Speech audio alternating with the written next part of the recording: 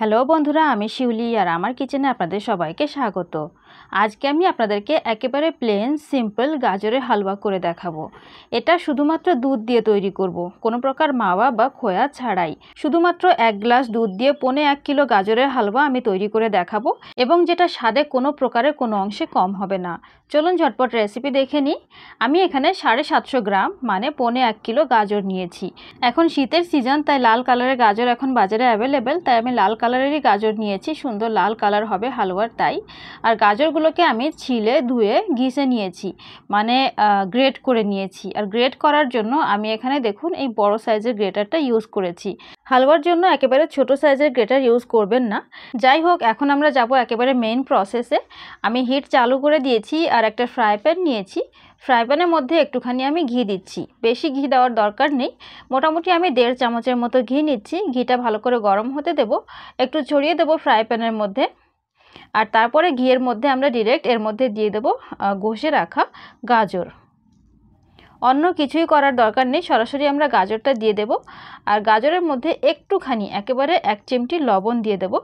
তো এখানে আমি পনে এক কিলো গাজর নিয়েছি, তাই আমি দু চিমটির মতো লবণ ব্যবহার করব। লবণটা বেশি দেবেন না, কিন্তু একটুখানি লবণ দিলে কি হয়, মিষ্টি খাবারের স্বাদটা আরও বেড়ে যায় এনহ্যান্স হয়ে যায়। তো যাই হোক, একটুখানি লবণ দিয়ে আমি ভালো করে নেড়ে চেড়ে নেব। ভালো করে মিশিয়ে নিয়ে ঢেকে ঢেকে রান্না করব। আর হিটটা রাখব একেবারে কম করে মিডিয়াম থেকে লোয়ের দিকে। তো মাঝখানে মাঝখানে আমি ঢাকনাটা সরিয়ে ভালো করে নাড়িয়ে দিচ্ছি যাতে সব দিকে একরকমভাবে রান্না হতে পারে। আর তারপরে আমি আবারও ঢেকে দিচ্ছি। আর এইভাবেই আমি মোটামুটি আট থেকে দশ মিনিটের মতো রান্না করে নিয়েছি। আর এখন কিন্তু গাজরটা সম্পূর্ণ সিদ্ধ হয়ে গেছে। গাজরের মধ্যে থেকে যথেষ্ট জল বেরিয়েছিল আর সেই জলটা কিন্তু শুকিয়ে গেছে। আর এখন গাজর নিজের জলে পুরোপুরি সিদ্ধ হয়ে গেছে। তো এখন আমি এর মধ্যে দিয়ে দিচ্ছি দুধ।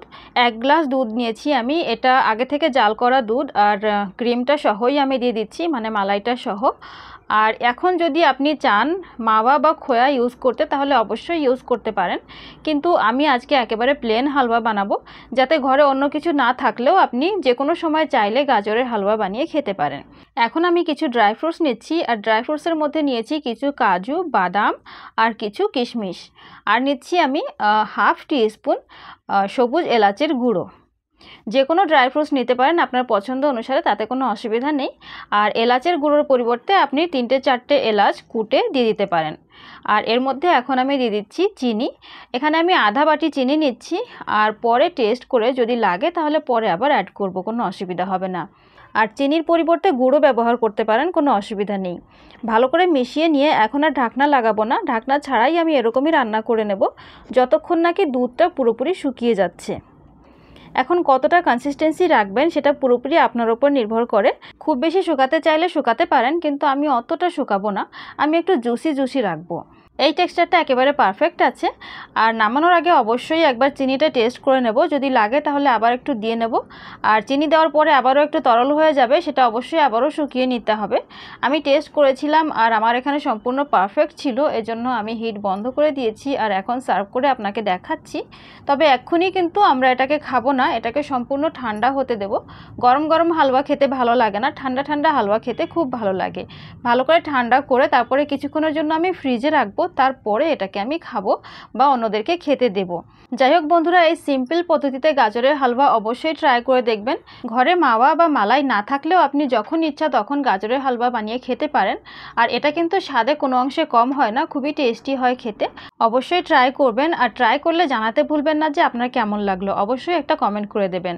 যাই হোক, আজকের জন্য এ পর্যন্তই বন্ধুরা, দেখা হবে পরের ভিডিওতে আর সে পর্যন্ত ভালো থাকুন, সুস্থ থাকুন আর খেতে থাকুন।